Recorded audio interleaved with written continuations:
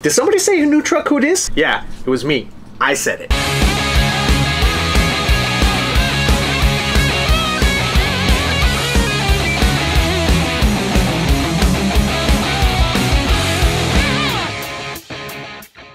Hey, what's up guys? Welcome back to another episode of Dirt Nation Off-Road. So today we're back with another rendition of Mastering the Tacoma, and today we're talking gears, baby. Damn, I dropped that too hard. Now, for those of you who watch the channel, you you know, you see it in every single trail video. We talk about it a little bit too much, me specifically. We recently re-geared our 2017 Tacoma to 529 gears, as well as installed a ARB front locker. Now, if you haven't seen that install video, I'll link it below so you guys can check it out and come back or check this out and check that out afterwards. Whatever you want, do, do your thing. Now for this video, we're gonna go over some positives as well as some negatives of daily driving and off-roading with a re-gear. And then we'll go over some tips and advice for re-gears and then we'll close the video after that. Then look forward to future videos where we'll be talking about the front locker that we installed and I'll give my opinion on that review and yada yada yada. Stay tuned. First off, I'm going to give you my best explanation of gear ratios so you can better understand the terminology and the ideas explained in this video. Now, let me say first, I am not a pro. So don't take this as pro advice. This is this is stuff that I've researched and learned on the internet and working on this stuff. But I'm going to give you my best explanation so that you guys can at least be up to level with with my smooth brainness. The gear ratio refers to the amount of times that the drive line, or in our case, drive shafts, spin in order to turn the wheel one time. So if somebody were to say that they have 410 gears, that means their drive shaft turns 4.1 times for every single time that their wheel turns. Typically a lower number will give you a higher top speed and better gas mileage, and then a higher number is going to give you better torque on the low end as well as higher towing capacity. There's a trade-off for both. This is super important for off-road vehicles because putting bigger tires and lifting your vehicle super high almost always results in a power loss, which is why you'll see people re-gearing to a lower gear ratio. And by the way, lower gear ratio, I'm referring to a higher number. So for example, 529s is lower gears than 3.9 gears. It's reversed and it sounds weird, but that's how it is. Lower gears, higher number, higher gears, lower number. Most people that go with a re-gear on their off-road vehicle will choose a lower gear because that does give you more torque and acceleration, but it does cost some gas mileage as well as top speed. In my case, I went from stock 3.91 gearing, I think that's what the stock Tacoma gearing is, all the way to 529s, which yes, that sounds like a big jump, but there's something that you have to understand, and any third gen Tacoma owner out there can back me up on this. These things are geared incorrectly from the factory. Yeah, the engine has 280 horsepower or whatever it is, 275. You don't feel it and you definitely can't use it right away because they gear them for better gas mileage and, and longer drives and stuff like that. They're not geared to be off-road vehicles. So you got to fix them from the start and then when you do fix them, we typically overdo it because we're putting bigger tires on the vehicle. These Tacomas have garbage acceleration and when you go and throw 33s or 35s on there, it makes the vehicle almost undrivable. Getting into the positives and negatives of daily driving with 529s, first off, there was a previous comment on a video where this guy said the first drive after regear is better than sex. And honestly, that's pretty accurate. This is a whole new truck with these gears, fixing a long time issue we've had with Tacomas. You press the gas and it accelerates. You don't have to, you know, you can floor it and it'll drop the gear correctly. It doesn't hunt around. It doesn't do all this other stuff that, that these freaking transmissions do sometimes. It feels and drives like a vehicle should right out of the factory. Now with those positives, there's definitely a good amount of negatives to talk about. These gears are low and it affects daily driving. First off, there's a big difference in how this truck shifts.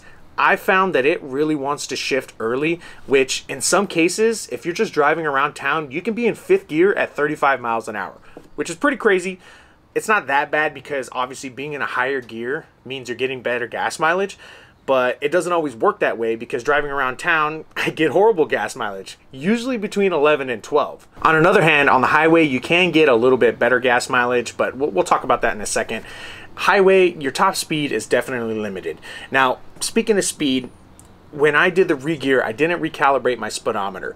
So results may vary. If you calibrate that, it might be a little bit more accurate I didn't. I'm just giving you the information and experience as I've got them. So just keep that in mind.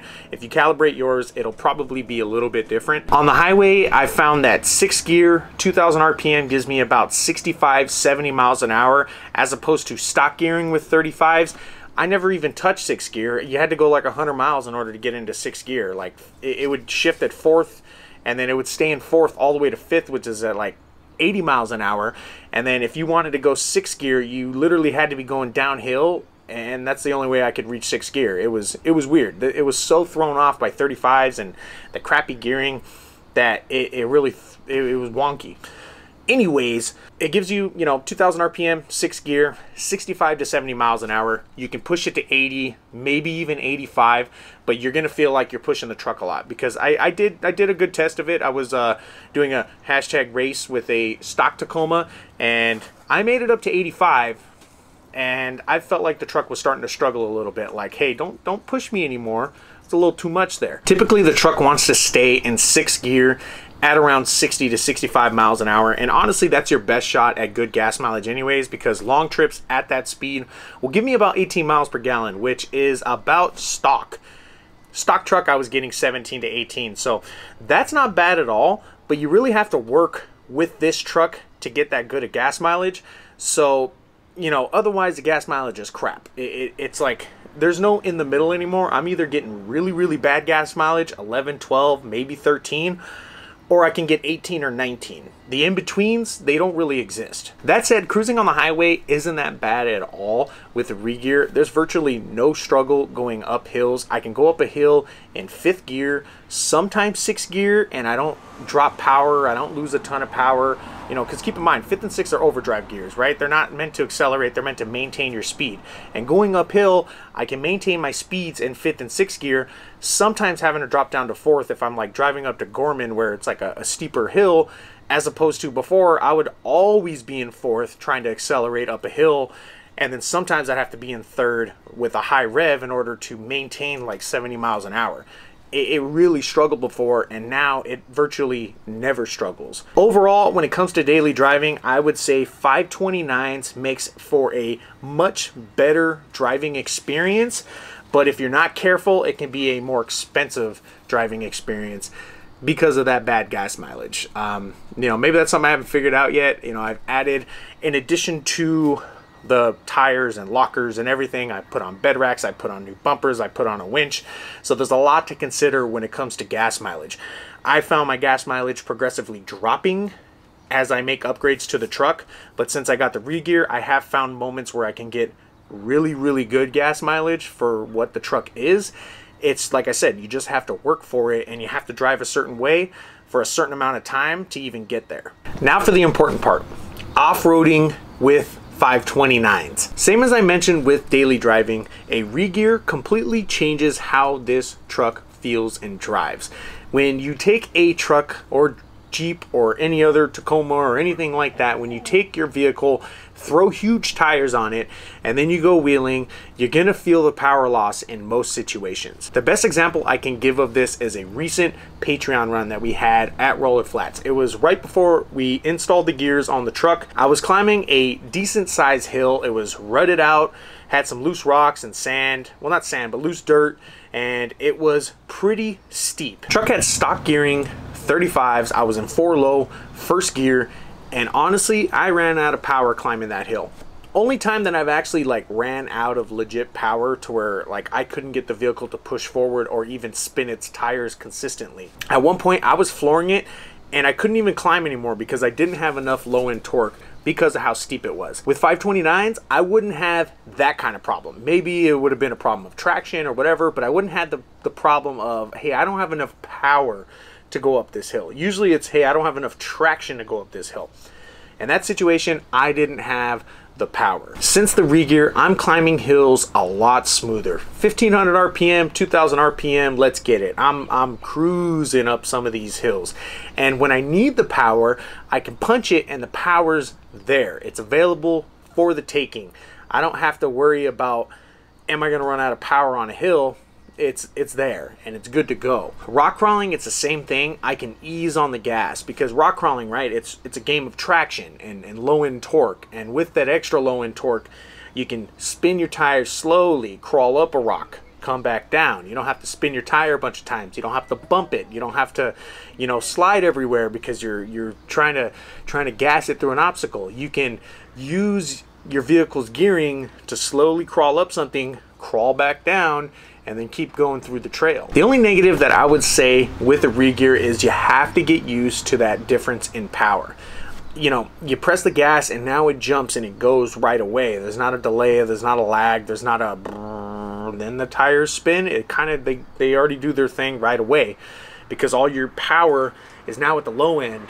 So you have to get used to it first. I could easily see a situation where somebody gets a regear, breaks in their gears, goes out there, and then they can mess something up because we all know you don't break parts with horsepower, you break parts with torque. So when you have a bunch of low end torque and you're gassing it up something and you lift the tire and it comes back down, snap, there goes the axle or whatever you want to call it. Get used to your vehicle after you regear it because it feels different. You're gonna drive you're gonna drive it like it's your old vehicle, even though it's this new regeared one. So take the time, get used to how it feels, get used to how it feels in four low, and then once you're out on the trail, you're gonna be more prepared and ready to go. Some other things that I've noticed with the regear is I don't have to rely on four low as often in situations where I need four wheel drive because before, honestly, if I shifted to four wheel drive, I might as well shift to four low because it was just easier to drive. Four low gave me better power delivery and all that stuff. Now I can just shift to four high and I have enough power and enough gearing to, you know, crawl small obstacles, something where that, eh, you know, it'll require four wheel drive. Now, speaking of four low, there's some things to talk about. Four low, first gear, 529s is some very, very low gearing. Just, just watch this clip of me doing all that and letting the truck go do its thing.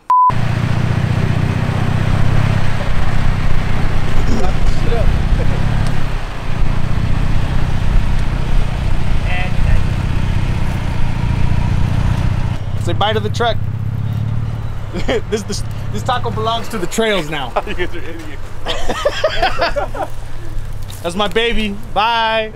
If you follow us on Instagram, you've probably already seen me do this before. I honestly got a little carried away with doing this when I first got the truck back from the regear because um, I was pretty impressed by by how slow it actually crawls. So I can get out of the vehicle and walk around it and you know do all this other stuff, and it just it won't run away from me. It's it's really slow and it crawls like a, it's like a turtle, turtle gang. I found that the max speed with first gear in four low is around eight to ten miles an hour max, and then if you shift it all the way to fourth and continue driving, you can maybe get it up to 30 or 35. That's about it. With stock gearing, I can maybe get the truck up to like 50 miles an hour in, in fourth gear because you can't shift the fifth and sixth in four low, in case you guys didn't know. Um, that was about it. It can go about 50, maybe 55, but now 30, 35 is the absolute max in four low with the 529s. The other thing I wanted to mention with four low is braking. Now, 529s, it makes engine braking a thing. It makes it useful on this truck. I can put the truck in four low, start to go down a hill and I don't even have to press the brake. I mean, obviously you want to be prepared in case something goes wrong, but in most cases you don't even have to press the brake because it's going to crawl down slowly and it's going to control it for you. This is super important if you're out on the trail and you have an issue with your brakes. We had a previous trip where we went to Pilot Rock Truck Trail, 2N17X. I ended up breaking a brake cylinder on the rear drum to where I lost all four brakes. And although I, I had stock gearing at the time in 33s and I did do the whole engine braking stuff, I still had to have a power wagon strapped to me because going down the hill, it didn't slow me down enough. I was speeding down these hills in first gear to where it was a little bit dangerous. So with 529s, I probably wouldn't have had that issue. I could have driven the trail, driven the truck out of the trail on my own. Stay tuned for a future video. We'll cover engine braking a little bit more. I'm planning a manual shifting versus automatic shifting type video for mastering the Tacoma. So stay tuned for that. That's going to be coming in the next week or so. Also need to mention if your brake pads are a little worn out or if you're only pressing the gas a little bit, 4 low can power through your brakes even if you're just idling downhill. It's it's a little bit harder to stop because you have that extra low end power, it's no joke. That pretty much sums up the off-roading part of it. I've found nothing but benefits since regearing this truck, and I'm actually really happy with it. Now, for the rest of you out there that are looking to regear, what should you get? Now, remember, I'm talking to you as a Toyota truck owner. My experience is always going to be different than everybody else's. I'm just giving you the info based off this truck and this piece of junk sitting right here. With the Tacoma, I think I made the absolute best decision. I primarily rock crawl, I do hill climbs. A lot of the stuff I do requires low end power and I'm doing it slow. I don't pre-run, I don't do all that other stuff. I wanted to get the lowest gears available for this truck. That's best for 35s or even maybe 37s. Shh, might happen. For anybody like myself that off-roads often and you off-road the same way we do, you rock crawl, you hill climb, do all that stuff, and you're gonna run big tires on your vehicle, I would consider getting 529s. But if you're really concerned about the daily driving aspect of it, but you still want to run big tires and have more capabilities off-road, then I would look at like 456 or 488s. Winchards over here runs 488s and that works just fine. It's a four-speed transmission, but the truck can still run 35s, have capabilities off-road, and I can go 70 on the highway. That works for me. You're going to have to find what works for you. And the only suggestion that I would make concerning that is consider your goals and regear for the future. If you know you're to run 35s on your build, then regear for 35s now. This is the kind of upgrade that you only want to do one time. That's pretty much all I got for the video. I'll conclude by saying this regear is by far my favorite upgrade on this Tacoma. It's a lot of work and it can be very pricey, but it's 100% worth it because it actually improves performance. It's not flashy, it's not bumpers, it's not lights, it's not big wheels and tires. It's not it's not the sexy upgrade, but what it is is the one that's probably gonna help your rig the most. So that's it. I'm all done here. Um, if you guys have any questions about regearing or any comments about your you know your experience with regearing, we'd love to hear them. As well as if you have any suggestions on mastering the Tacoma topics, I'd love to hear them down below so we can try and get them covered in the future we're all done for now. I want to thank you guys for watching. Make sure to subscribe to channels. Follow us on Instagram, Facebook, YouTube, and Patreon. You can also hit us up for shirts and hats at dirtnationoffroad at gmail.com. But thank you guys. We'll see you again next time.